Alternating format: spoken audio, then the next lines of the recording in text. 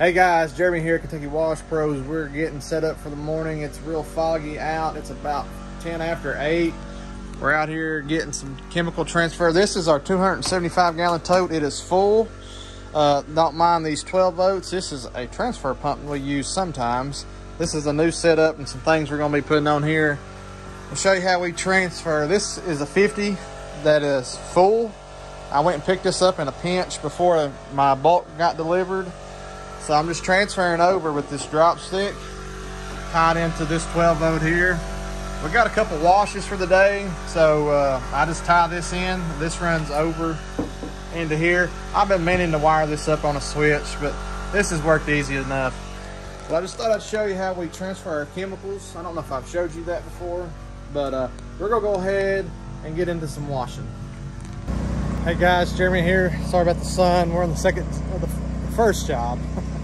first job, it's about 9.35, 9.37. Uh, we're pulled up, hooked up. I've been here for a few minutes talking to the homeowner, taped up some stuff, washed the back side of the house. Uh, I've been washing about 10 minutes. So, uh, gas roof pump, we're gonna take care of this right here with about a uh, two and a half percent mix on the dial.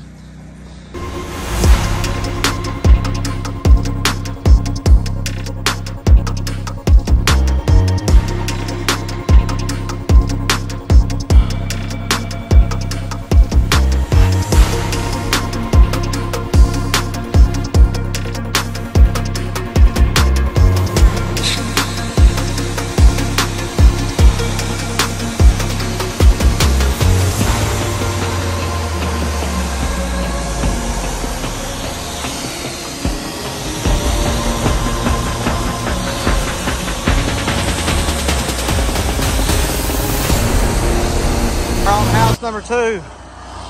It is 11:20. We stopped, and got a little snack.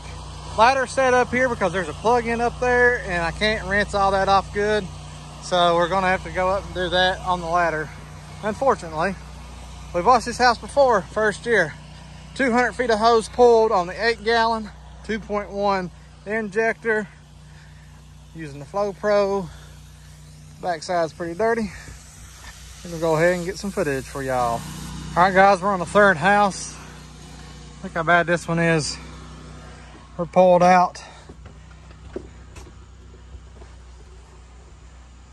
This one is just bad all the way around and gotta watch these decks, guys.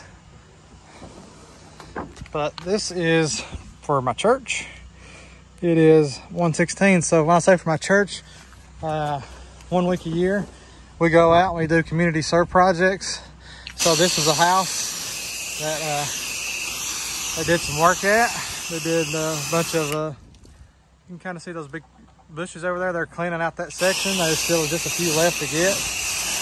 But they come out, they did the gutters. I was gonna do the gutters, but uh, life group, we have life groups at my church and this one family's life group come out and cleaned a bunch yesterday and they clean the gutters and uh, no no worries here. I'm not mad about it. There is nails sticking out of this deck so got to be extremely careful and not trip up on them. There is no water here that i have found luckily. I thought it would be smart just in case to come with a full tank of water so what we're doing right now is just applying a real heavy coat with uh, the 2.1 injector through the 8 gallon minute machine. We're on 150 foot of hose and we're hoping that's going to be enough to take care of it. So I'll show you what it looks like here in just a minute. All right, we've went ahead and rinsed this wall, rinsed this wall. It is so it's been 10 minutes and we're rinsed. I replied to a few text messages. This was one application of the downstream. Looks so much better, doesn't it? One application downstream, guys. It's not that hard.